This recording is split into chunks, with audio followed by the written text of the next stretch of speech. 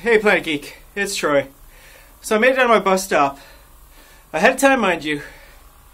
But, uh, as it turns out, a bus just went by before I even got to it. Now, of course, I had my back to the direction that the bus was coming, so it wasn't until the actual bus passed me that I realized, oh my god, hey, there's my bus. Now, here's hoping that A, that bus was 20 minutes behind schedule, which would put it at the time that it was supposed to be here. Because my next bus is supposed to be here till about a minute or two from now, and in this weather, there's no way buses are being early. Now, buses are freaking being early today. Everyone's screwed.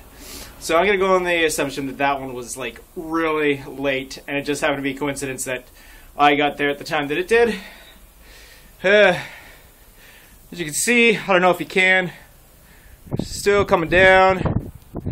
Let's see. That's that's my view there. I don't know how much of that's being picked up on the camera, but uh, that was pretty much my path the whole entire way, all 15 minutes. Well, it was a little more like 20 minutes today because it's just so exhausting. Good cardio workout though.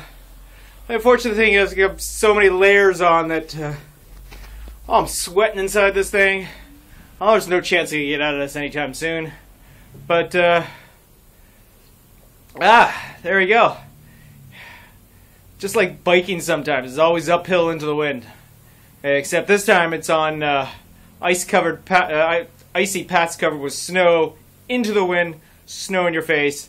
Got to walk with the head down all the time, looking up every once in a while. Oh, good, I'm still walking the same path because there's no nobody's like nobody's walked where I have, so I can't even follow someone else's path.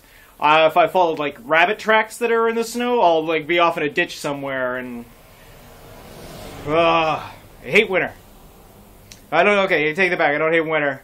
I hate winter conditions because I'm a Canadian that hates snow.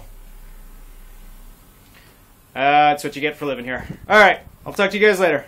Bye bye.